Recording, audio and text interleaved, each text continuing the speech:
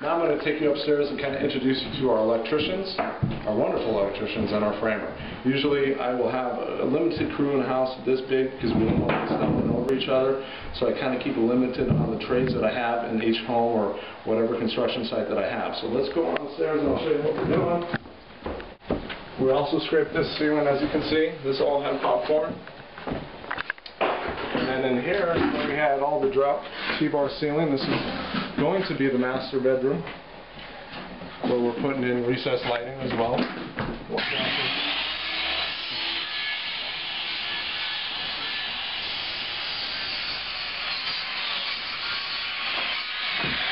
This is Eddie, Fast Eddie, one of our fastest framers in Southern California. He's actually framing up a wall. Eddie, I'm just going to, before we had an inspection report on the house, which we looked through, we didn't find any termite. The termite reports came back clean.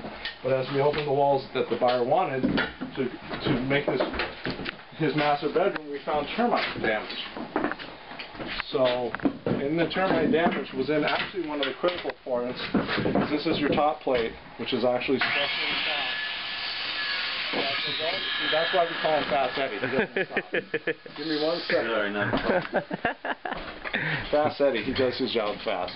So what we had to do is replace our top plates with our vertical studs to actually support our ceiling joist because this was all termite damage and it was rotted out.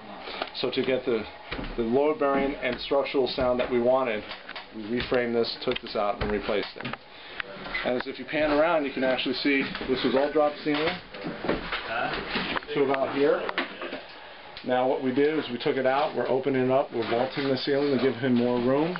We actually found this nice beam, which you can't find these anymore. Uh, we're actually exposing the beam. We're not going to wrap it. We're going to leave it exposed and give him that nice, nice look with this finished, finished beam. The drywall is going to match up to the top, and it's going to be a finished look with some recessed linings and of course a fan.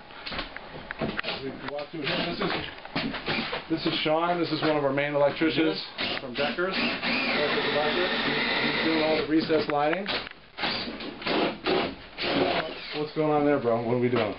We are getting power for the switch Okay. using uh, some Romex and going through the wall here. This is for your flat screen TV, Perfect. And uh, you're gonna have Can't, lights we can't, there. we can't, can't have a master bedroom without a flat, flat TV screen. Right? That's, that's what the customer wanted. And here we have the bathroom where we're extending, Oh, wow. turn into a master bathroom, This which is a lot just better. framed up the walls, as you can see. Fast Eddie, Fast Eddie in the other room, try this all up. And as you can see, as we support it, we're going up to our ceiling joists, giving them better support. We're still going to try to keep the line with the vaulted ceiling. And right behind me, this is the owner of Deckers Electric, one of our fastest electricians here in Santa Clarita. Hmm. and he's doing all our drop recess lighting and coming up with the designs for the home buyer. And what we're doing here is we're actually going to remodel this bathroom. We're going to have a dual vanity. We're actually going to move the toilet away from the shower. And this is one time where we don't really like, the buyer doesn't want to really see, uh, as we can see, the, the toilet's right by the shower. That's kind of no, no, Sean, you got a no switch privacy. So what we're doing is we're going to move this out.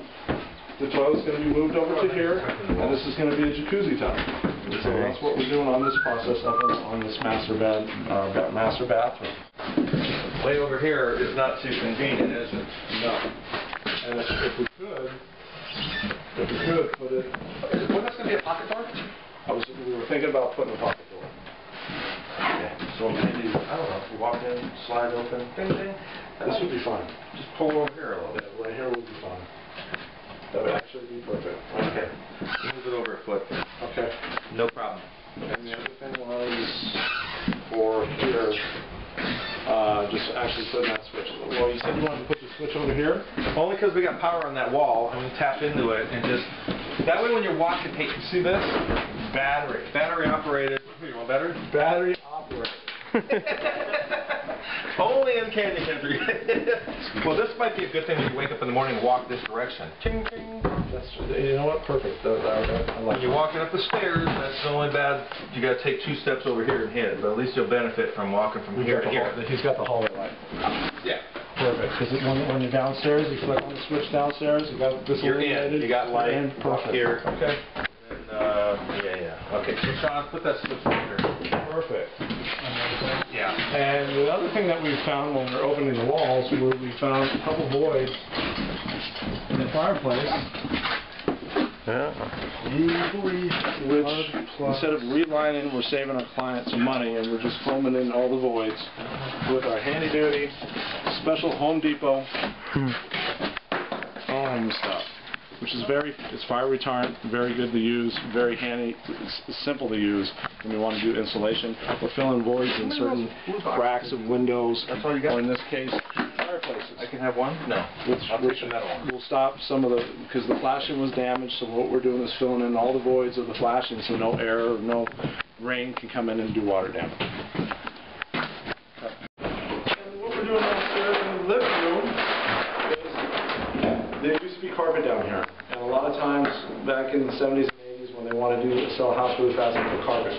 Now, what we're doing for the buyer, is, as you can see, it's a concrete slab,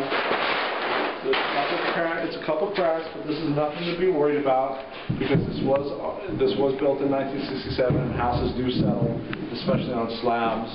Um, So we, we had our engineer take a look, there's a couple cracks that go throughout the house, but there's nothing to worry about. So what we're going to do is fill the cracks and we're actually going to put a nice pergo floor, which is durable. He has dogs, he has kids. And Pergo with a laminate hardwood floor lasts a lifetime, and it's very, very durable, and it's, it's really easy to upkeep. It doesn't take a lot to, you, you you mop it, it's nice and clean. So what we'll do is we'll give you another shot after the floor goes in to show you the finished look. But as you can see right now, this, we're still in the, we're still in the middle stages, but pretty soon this house is gonna come together and look really great. It's gonna look awesome.